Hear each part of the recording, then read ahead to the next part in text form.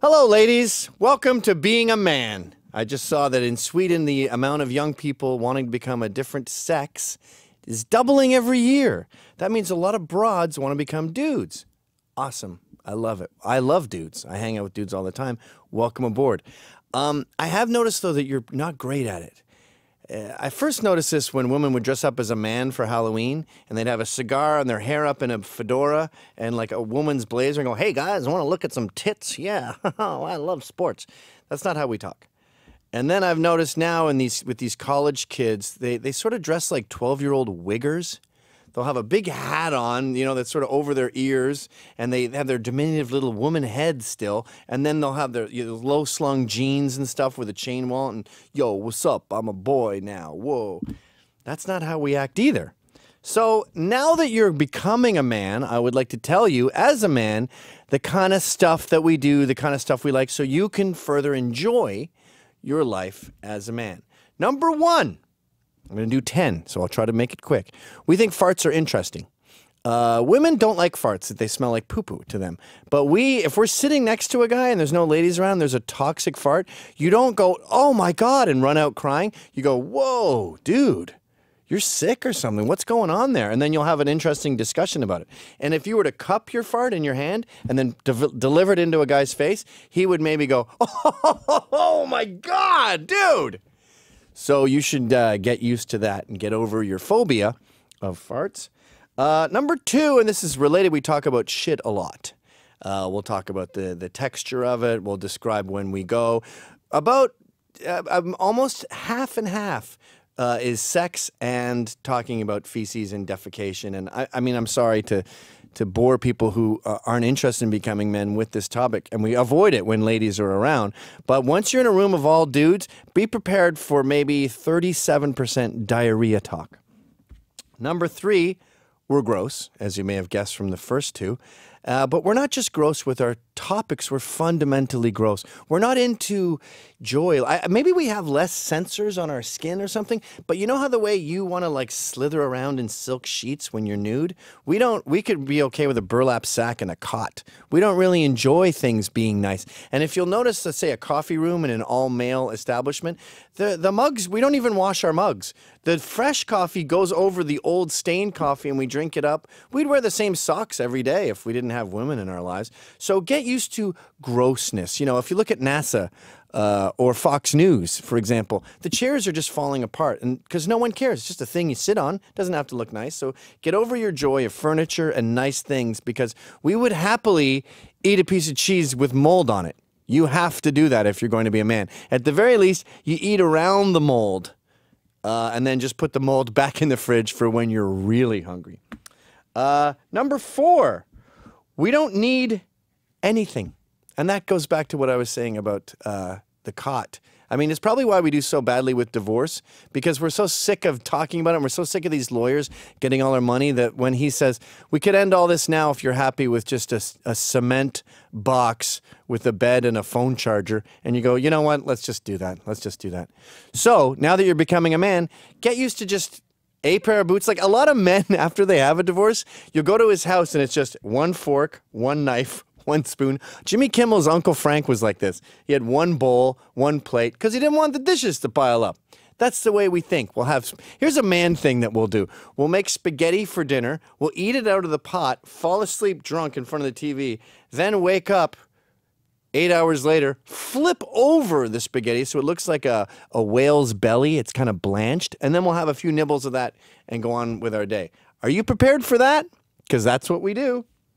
Number five, we like the album Diver Down by Van Halen. This is actually a good starter for you. We like the joke songs on it. We like uh, Eddie Van Halen's guitar solos. So I think the first step for you being a man and sort of understanding the way we operate would be to listen to that album maybe 70 times. Number six, you have to fight as a man, and it sucks. It's never because someone slapped your mom. So you never have that brave heart, yeah, I'm genuinely mad fighting thing. It's never that. It's always you spilled a girl's water, and then she told her boyfriend that you grabbed her ass, and you didn't, and now he wants to fight you, and you have to fight him. Or some guy is harassing some chick and no one else is your size in the restaurant, and I'm diminutive. And you have to go over and go, dude, you need to leave her alone. You need to get out of here, blah, blah, blah. And now you're in a fight that you feel nothing for. You don't like this guy or this girl, but you have to get in there. That's why you should never wear flip flops as a man, because you're essentially on the national reserves. You're, you're, you're ready to be drafted at any time.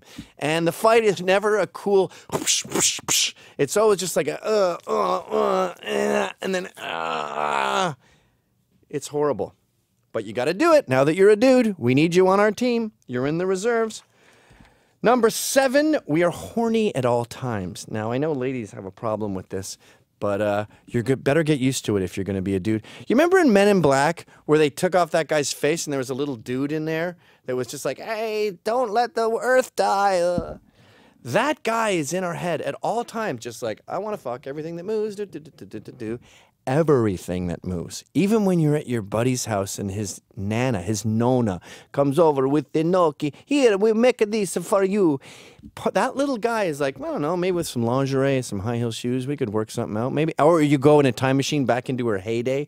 We're constantly thinking about screwing things. I mean, inanimate objects are out, dudes are out, but for the most part, every single human woman is going through your brain as a maybe. So you better get used to that little men in black guy constantly telling you to get laid.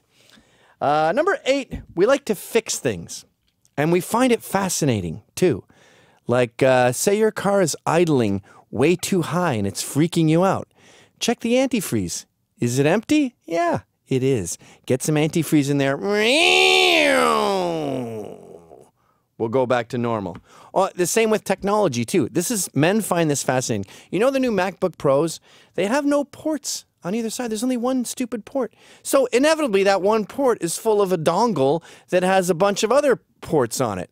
And you go, isn't me looking at that dongle proof that you screwed up by only having one outlet? I mean, you have um, even the iPhones with the battery cases on them. Isn't that proof that they suck? And it's not valuable real estate along the side. Does this discussion sound boring to you? Well, you're probably not a man because it's fascinating to men. And that brings us to number nine, how it's made. The show How It's Made. They show you making a rubber hose it's just a long, long tube, and there's powder everywhere, and we have a bar in the middle, and then we cut it, and then we put this thing on. Men watch that, and it's one of the few times they're not totally consumed with sex because we're just fascinated oh, like the making of this microphone. I can't wait to see that episode.